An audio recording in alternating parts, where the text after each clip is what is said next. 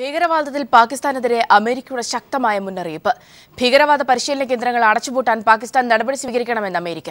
തീവ്രവാദ കേന്ദ്രങ്ങൾ അടച്ചുപൂട്ടണമെന്നും അമേരിക്ക ആവശ്യപ്പെട്ടു. അതേസമയം ഭീകരവാദികൾക്കെതിരെ നടപടിയെടുക്കാത്ത പാക് സർക്കാരിനും സൈന്യത്തിനുമെതിരെ വിമർശനവുമായി പാകിസ്ഥാനിലെ മുതിർന്ന ക്ഷമിക്കണം പാകിസ്ഥാനിലെ മുൻനിര ദിനപത്രമായ ദി രംഗത്തെത്തി. ദേശീയ സുരക്ഷയ്ക്ക് ഭീഷണിയായ ജെയ്ഷെ ഇ മുഹമ്മദ് തലവൻ മസൂദ് അസർ ജമാഅത്ത് ഉദ്ദവ നേതാവ് ഹാഫിസ് സയ്യിദ് എന്നിവർക്കെതിരെ എന്തുകൊണ്ട് നടപടിയെടുക്കുന്നില്ല എന്ന് പാക് സർക്കാരും സൈന്യവും വ്യക്തമാക്കണമെന്ന് നേഷൻ ആവശ്യപ്പെട്ടു. സന്തോഷ് സോലിംഗ് ചേർന്നുണ്ട്. വിവരങ്ങളുമായി സലിംഗ് ഒരു ഒരു ഭാഗത്ത് അമേരിക്കയുടെ മുന്നറിയിപ്പ് നിലനിൽക്കുന്നുണ്ട്. ഒരുപക്ഷെ അമേരിക്ക എത്രത്തോളം ഇന്ത്യയെ പിന്തുണയ്ക്കുമെന്ന തരത്തിലൊക്കെ ആശങ്ക നിലനിന്നിരുന്നു.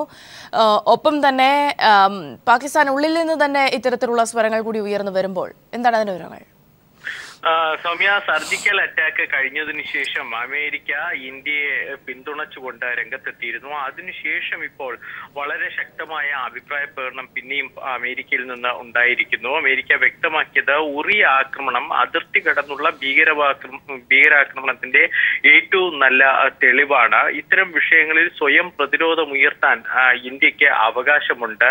അതിർത്തി കടന്നുള്ള തീവ്രവാദം തടയേണ്ടത് ഇന്ത്യയുടെ ഇന്ത്യയുടെ ഏം, ഈ- പക്ഷേ അതോടൊപ്പം തന്നെ ഈ ഭീകരവാദികൾ ഈ സ്ഥലങ്ങളിൽ തമ്പടിക്കുന്നതിനെതിരെ നടപടിയെടുക്കാനും പാകിസ്ഥാൻ തയ്യാറാകണം. മുംബൈ മുംബൈ അറ്റാക്കിന്റെ വിചാരണ പോലും ഇതുവരെ പൂർത്തിയാക്കാൻ പാകിസ്ഥാന് കഴിഞ്ഞിട്ടില്ല എന്നും അമേരിക്ക കുറ്റപ്പെടുത്തി. എന്നാൽ ഇതിനിടയിൽ തന്നെയാണ് പാകിസ്ഥാൻ ഉള്ളിൽ മാധ്യമങ്ങൾ സർക്കാരിനെതിരെ രംഗത്തെത്തിയിരിക്കുന്നത്. പട്ടാളവും സർക്കാരും തമ്മിൽ അഭിപ്രായ വ്യത്യാസം റിപ്പോർട്ട് ചെയ്തതിനെ തുടർന്ന് യാത്രാ വിലക്ക് നേരിടുന്ന പാകിസ്ഥാൻ പത്രപ്രവർത്തകന് പാകിസ്ഥാൻ മാധ്യമങ്ങൾ പൂർണ പിന്തുണ നൽകി. ഡോൺ പത്രപ്രവർത്തകൻ സിറിയൻ അൽമേഡയ്ക്കാണ് നേരത്തെ വിലക്ക് ഏർപ്പെടുത്തിയത്. എന്നാൽ ഇത് ഈ യാത്രാ വിലക്ക് പിൻവലിക്കണമെന്ന് കറാച്ചി പ്രസ് ക്ലബ്ബ് ആവശ്യപ്പെട്ടു. ആംനസ്റ്റി ഇന്റർനാഷണലും പാകിസ്ഥാൻ മനുഷ്യാവകാശ കമ്മീഷനും ഈ യാത്രാ വിലക്കിനെ അപലപിച്ച് രംഗത്തെത്തിയിട്ടുണ്ട്. ഇതിനിടയിലാണ് മാധ്യമങ്ങൾ മുഖപ്രസംഗം എഴുതി എഴുതിയിരിക്കുന്നത്.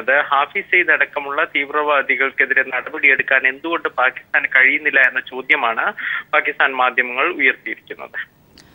സന്തോഷ് സലിംഗാണ് വിവരങ്ങൾ നൽകിയത്.